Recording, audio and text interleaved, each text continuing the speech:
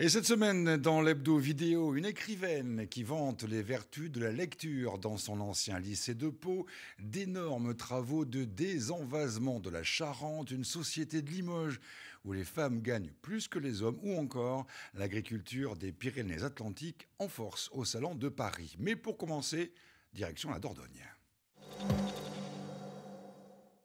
précisément à Montpazier, où il n'a été question que de cela durant toute la semaine, le tournage du film de Ridley Scott dans cette petite commune. Des techniciens, vous le voyez, sont en plein travail sur la place du village pour préparer une des scènes du film. Son nom, The Last Duel, ce qui a fait le buzz aussi, bien sûr, c'est la présence d'un certain Matt Damon dans le secteur, ainsi que Ben Affleck.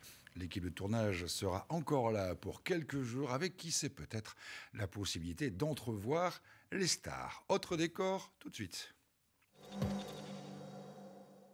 Et c'est à Bazas où s'est déroulée la traditionnelle fête des Beugras, un événement incontournable et haut en couleur, vous le voyez, comme avec ce magnifique défilé que vous voyez sur euh, ces images.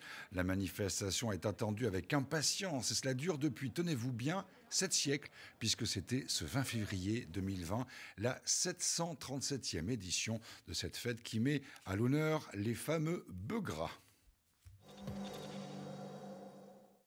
Attention, hein, surtout ne pas confondre, c'est bien un taureau que vous allez le voir tout de suite. Son nom, Noé, il pèse la bagatelle de 1200 kilos, soit, vous l'avez compris, oui, plus d'une tonne. Et Noé va prendre la direction de Paris. C'est lui qui va représenter les Pyrénées-Atlantiques au prochain salon de l'agriculture.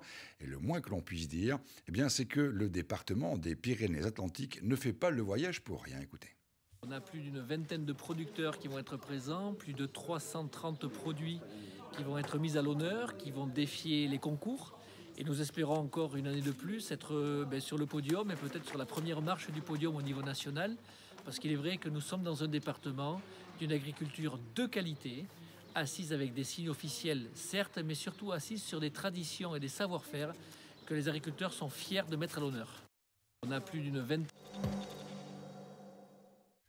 Découvrons maintenant une entreprise dans laquelle les femmes sont majoritaires et occupent des postes à responsabilité, un modèle encore peu répandu, il est vrai, mais qui existe pourtant bel et bien, et ça marche. À Limoges, l'entreprise Indépendance a engagé depuis plusieurs années une politique égalitaire. C'est ce que nous, avons, ce que nous allons voir tout de suite, regardez. Recruter de manière égalitaire sans regarder le sexe ou l'origine de la personne, c'est le pari que s'est donné depuis plusieurs années cette entreprise d'équipement de domicile pour seniors, une politique qui fonctionne avec des chiffres de croissance qui ne cessent d'augmenter. La politique euh, de l'entreprise au niveau de l'embauche, c'est euh, l'égalité des opportunités. C'est-à-dire que nous, on juge les gens pour ce qu'ils font et non pas sur ce qu'ils sont que ce soit un homme, une femme, quelle que soit euh, l'origine de la personne, peu importe, on laisse l'opportunité aux personnes d'accéder à des postes à responsabilité. Et avec cette politique, les femmes de l'entreprise ont pu accéder à des postes à responsabilité. Dans le comité d'encadrement, par exemple, la proportion est de 5 femmes pour 3 hommes. Chez nous, on a fait une moyenne récemment, les femmes sont rémunérées à peu près 15% de plus que les hommes. Mais c'est vraiment cette euh, euh, égalité des opportunités qui a fait que euh, les femmes ont osé accéder à des postes à responsabilité. Aujourd'hui, comme je vous le disais, il y a un comité de direction, mais il y a aussi un comité d'encadrement qui inclut euh, les chefs de service et les responsables de service. Et il y a pour le coup plus de femmes que d'hommes, euh, parce que les femmes ont eu la volonté euh, et ont osé aller prendre des postes à responsabilité. Grâce aux bons résultats de l'entreprise, ce sont une quarantaine de postes qui devraient être ouverts en 2020, toujours avec la même idée, l'égalité des chances pour tous les candidats.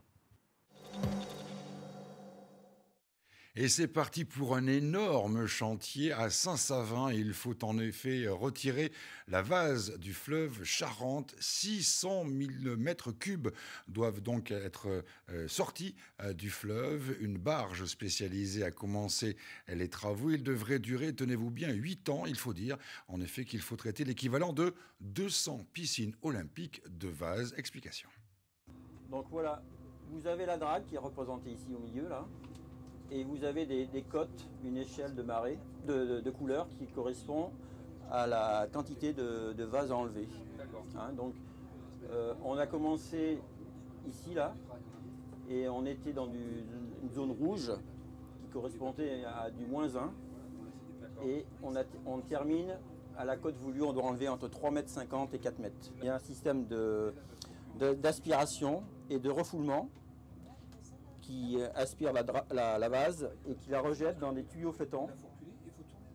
Et après, elle est acheminée dans les bacs de, décantation à terre. Les sédiments qui arrivent de la drague, donc euh, au point de remplissage à l'autre bout du premier bassin de, décantation, arrivent jusque se décante tout au long de ce premier bassin. On a deux bassins en parallèle. L'ouvrage hydraulique permet de faire passer euh, l'eau sur le clarificateur et les sédiments restent donc dans le bassin de décantation. Donc ici vous voyez l'eau plus claire qui passe dans le clarificateur. C'est un bassin tampon qui a été mis en place avant le, rejet euh, des eaux vers la Charente. Et retour en adolescence pour Marie Dariussec. Cette semaine, l'écrivaine est allée à la rencontre des élèves d'une classe de seconde du lycée Cassin, celui-là même où elle a fait ses propres études. Elle tournait un reportage pour l'émission La Grande Librairie à voir bientôt sur France 5. Elle a délivré à cette occasion un message très clair aux jeunes Vive la lecture. Je suis très contente d'avoir l'occasion de promouvoir la lecture moi, quand j'étais petite et puis quand j'avais votre âge, donc il n'y avait pas Internet, il n'y avait pas les téléphones portables, on s'ennuyait énormément. Et c'était pas mieux qu'aujourd'hui, hein, je dis pas ça. J'adore les téléphones portables. Mais c'est vrai qu'on lisait sûrement plus parce qu'on s'ennuyait, tout simplement. Moi, j'ai beaucoup, beaucoup lu. Et j'avais pas, ma génération, on n'avait pas la chance d'avoir les livres pour adolescents que vous avez, les, livres jeunesse. Donc il fallait bien euh, qu'on lise bah, Zola, ça allait encore, mais je me rappelle avoir lu euh, Madame Bovary a 14 ans, franchement, je, je comprenais rien c'est trop tôt. vous avez beaucoup. J'ai vu que dans vos choix, il y avait des, livres jeunesse. Oui. Ça, c'est bien que cette littérature existe parce qu'elle vous donne à rêver et elle vous habitue aussi à la lecture. À la lecture peut-être plus tard de livres bah, d'adultes, quoi. Mais la lecture, ça, moi, ça m'a, ça m'a rempli, ça m'a rendue heureuse. Restons dans les Pyrénées-Atlantiques. Allez, on va les compter ensemble. Regardez, c'était euh, ce jeudi 2, 3, 4, 5. Enfin bref, le départ du 4L Trophy euh, de la halle euh, d'Irati, donc à, Biarritz. Il y avait au total 1065 équipages qui sont partis donc pour ce fameux 4L Trophy. Des équipages qui viennent d'Espagne, d'Allemagne, de Belgique et bien sûr de toute la France. Bonne chance et bon voyage à eux. Voilà pour l'essentiel de cet hebdo vidéo. À la semaine prochaine.